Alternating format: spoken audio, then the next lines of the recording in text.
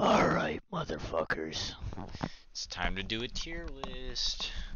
Make some bad decisions as we rank the genders.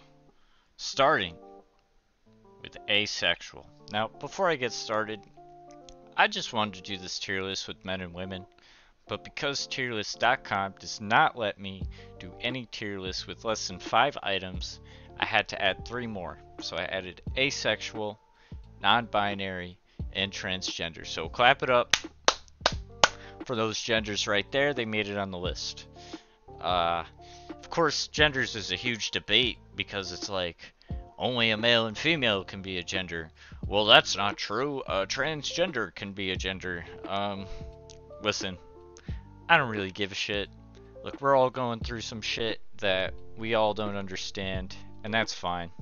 I mean, listen, I'm here to learn, be an ally, and shit, and just like help other human beings out as best that I can with this fucking content. But I don't want to let asexuals uh, and uh, transgenders be left out, so I am gonna rank them anyways.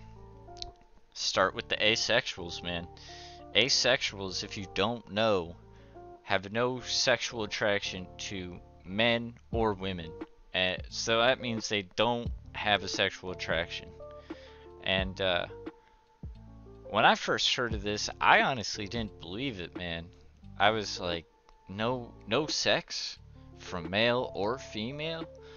I thought to myself, hmm, that's crazy. I've never heard anything uh, like that, but it's true. And sure enough, there's people out there that that don't want anything from anybody, and uh, I'm sure that must make things a bit difficult because we live in a world where, you know, consumerism is propelled by sexual desire, and, uh, you know, it's hard to escape that.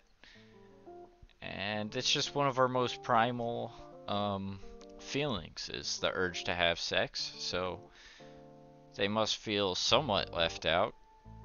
Though at the same time, might have other advantages too not wanting sex can be a good thing because you can focus on other things.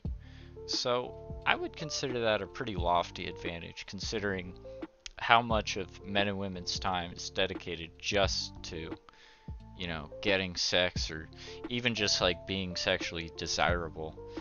I, I suppose for that reason I will have to say a bit easy because it's a it's a load off their plate if they don't care, but not entirely easy because, um, you know, I mean, it's a, it, I can imagine it being a bit isolating and a bit hard to date. Now, women. Ugh.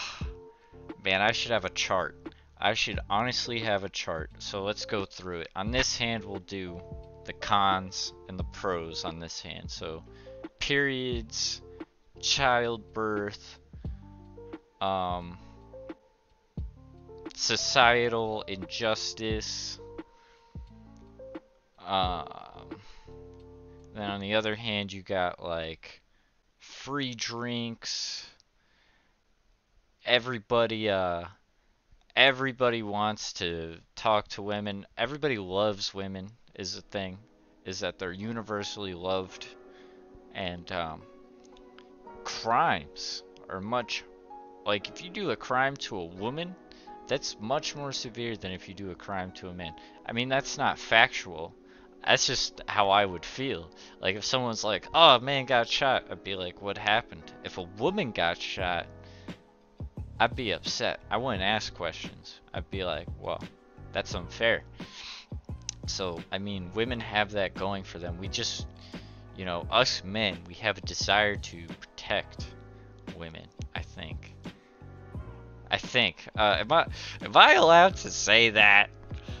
Am I allowed to say that? Am I really live on YouTube right now? Holy shit, dude. Am I really talking out of my ass about how difficult women have it right now? Who do you think you are? No, women have it very difficult, man. Very difficult.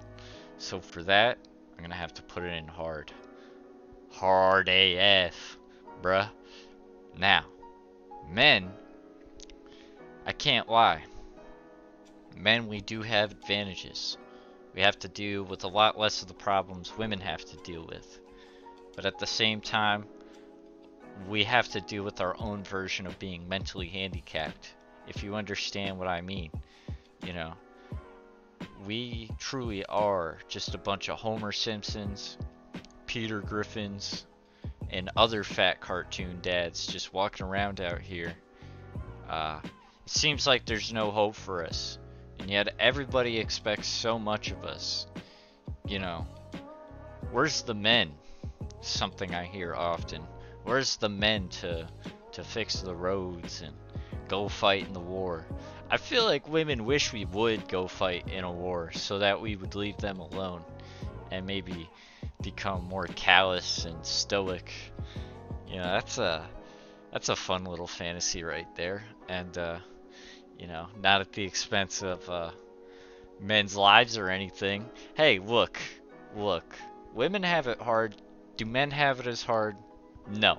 But is it difficult? Yes. So for that reason, I'm going to put you in a bit difficult. Now, next we have non-binaries. Non-binaries are valid, man. I mean, everybody on this list is valid. Um,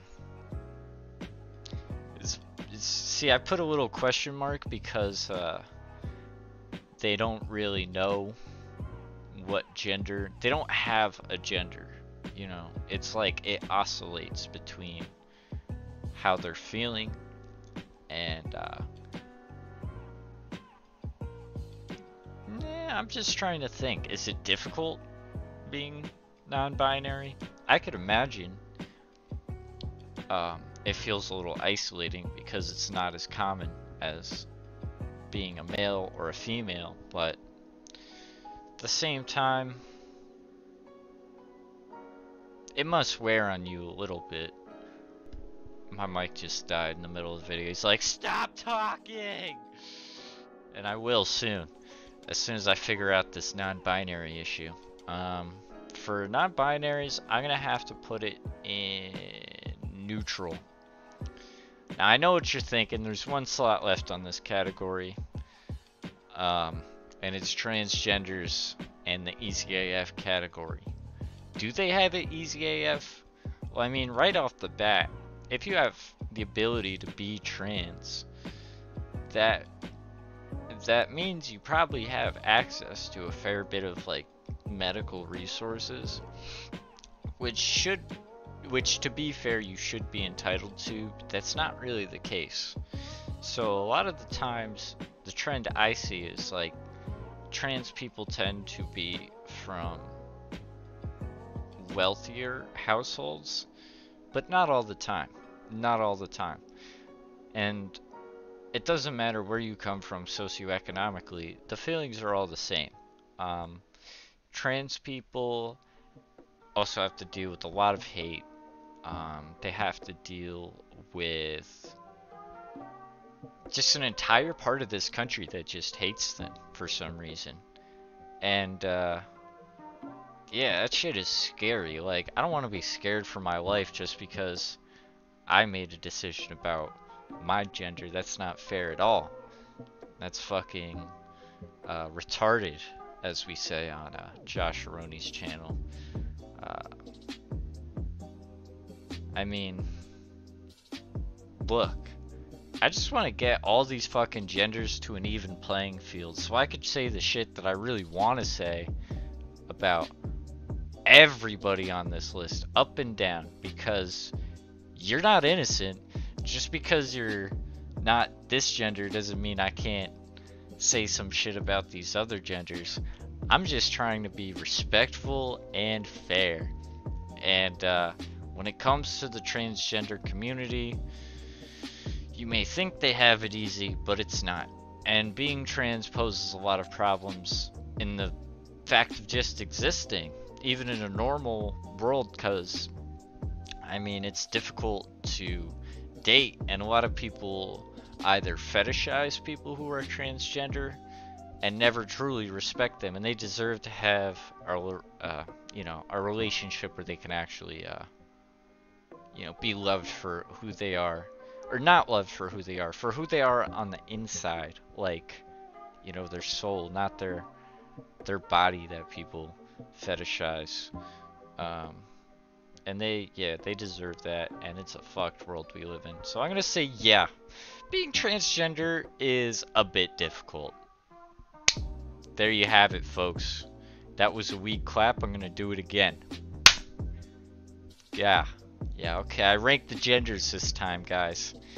Uh, they don't want me to do it. They want me to quit. They're telling me, Josh, if you don't take your channel down, we're gonna, you know, we're gonna do things to you and, um, you know, like tickle, um, that type of thing. I tell them, no way, Jose. Uh, this is uh, this is going well. I'm getting the exact amount of views I anticipated I would get, and life is just marvelous, darling. And it's a Thursday, but it'll probably be uh, the weekend when this comes out. Alright.